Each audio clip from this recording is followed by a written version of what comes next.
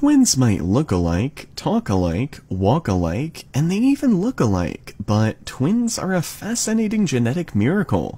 Whether they're conjoined, polar body, identical, mirror, or separated at birth, the complexities of twins are something that both the average man and scientists have marveled over for decades. Here are 10 things you didn't know about twins. Identical twins are not so similar. It's common knowledge that they have the same DNA. However, that doesn't mean that they're similar in every sense. From birth, identical twins have different fingerprints and belly buttons. As they age, they change totally different from each other.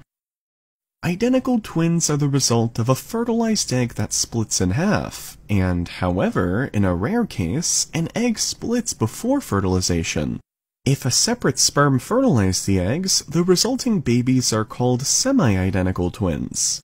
Semi-identical twins share about 75% of DNA, and they're not quite identical in this case. About one-fourth of twins develop as the mirror image of each other. The split is quite early than usual. Inside the womb, they face each other and develop as an exact mirror copy of each other. One may be right-handed while the other is left-handed. Their hair whorls will be twirled in the opposite direction, and they may have matching birthmarks on opposite sides of their bodies. In some rare cases, even the internal organs can be on the opposite side. Twins are becoming more common than before. The birth rate of twins has increased by up to 75% in the last few years. A study shows that women drinking cow's milk were more likely to give birth to twins. While the twin births are becoming more prevalent, identical birth rates have remained constant across the globe at 4 for every 1,000 births. A research in Utah shows that women who give birth to twins live longer than those who give birth to single children.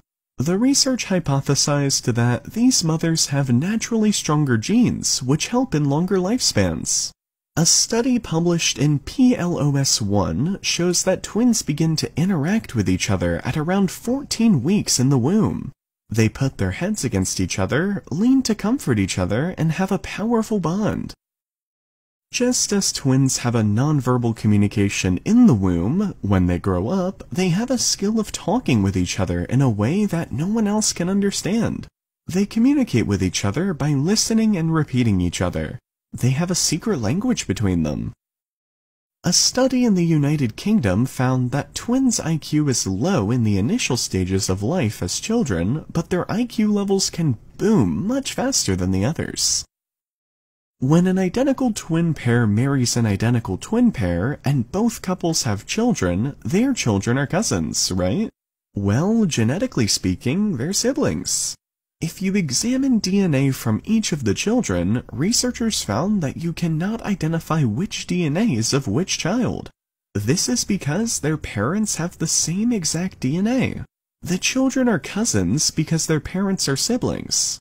However, as the parents are identical twin siblings, the children's genetics are the same, making them siblings in genetics. Isn't that fascinating?